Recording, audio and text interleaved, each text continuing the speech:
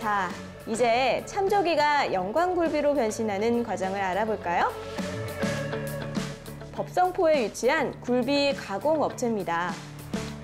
작업장에 들어서자 산더미처럼 쌓인 참조기가 눈에 띄었습니다. 여기서 사용하는 조기는 모두 자연산.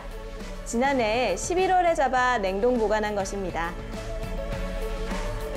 첫 과정은 해동된 조기를 선별하는 건데요. 각각 무게에 따라 상자에 분류돼 담깁니다. 안녕하세요. 아, 지금 무슨 작업하고 계시는 거예요? 네, 여기는 지금 조기 선별 작업입니다. 아, 좀 봐도 될까요? 예, 사도 됩니다. 네. 그 조기 원물입니다. 조기 원물. 이제 배에서 잡아온 것을 이제 바로 이렇게 그 작업하기는 양이 많기 때문에 네. 냉동에 들어가서 냉동을 시켰다가 이제 작업할 때마다 해동을 해서 이제 해동한 이 조기를 갖다가 이제 선별을 이렇게 하는 겁니다. 사장님, 우와, 우리가 이 귀한 조기가 이게 산더미처럼 쌓여 있어요. 이게 보니까 근데 크기가 이렇게 달라요. 예.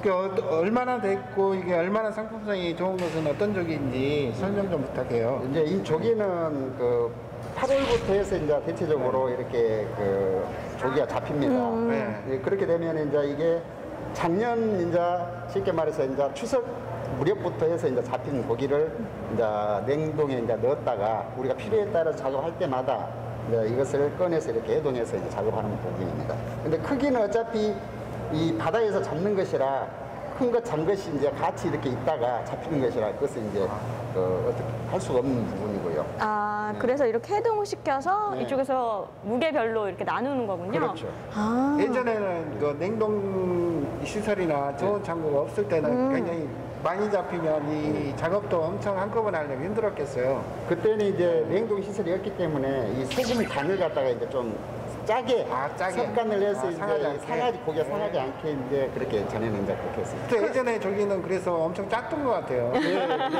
예. 저는 조기 많이 먹어봤지만 다 똑같아 보이거든요. 네. 그리고 참조기 말고도 뭐 부세라는 것도 있고 하잖아요. 네. 그런데 영광굴비 어떻게 구분할 수 있어요? 지금 영광 굴비 같은 경우는 이제 이렇게 보시면은 이 머리 위에가 이렇게 보시면은 그이 다이아몬드식으로 이렇게 이제 이렇게 그 모양이 이렇게 있습니다. 네. 예, 그 것을 보고 이제 국산 이제 참조기라고 아, 그럼 국산이 아닌 것은 이런 다이아몬드 모양이 없어요? 조기가 아닌 것은 이제 맨들머니 이제 그렇게 아. 생겨 부세 이제 그런 비슷하지만은 부세고 그렇습니다. 아. 근데 조기는 이제 머리 위에가 다이아몬드 이 모양이 그렇게 있습니다. 아, 사실 민어하고 네. 되게 비슷해요. 이게 크면 민어하고 비슷한 민어과에 속하는 것 같아요. 음, 전 굴비가 더 좋아요. 골비가 더 영광 굴비 자랑 좀 해주세요. 영광 굴비는 우리가 매일같이 이렇게 먹어도 이게 질리지가 않고요. 음. 어, 아무튼 우리가 뭐, 그 반찬이 이제 없으니까 음. 뭐 조기로만 우리 반찬합니다. 아무튼. 아, 이그 귀한. 조기를 매일 반찬을 해 먹는다고요? 예. 부럽네요. 바로 먹을 것이 없으니까 조기로 반찬해서 먹습니다. 아. 저희는 뭐 병 후에 회복기나 아니면 노쇠하거나 기력이 쇠했을 때 음. 우리 조기가 겨울조의 기운이거든요. 아. 기운이 없을 때 기운을 돋궈준다 해서 조기라고 알고 있거든요. 건강에 굉장히 좋다고 하셨잖아요. 어떤 성분이?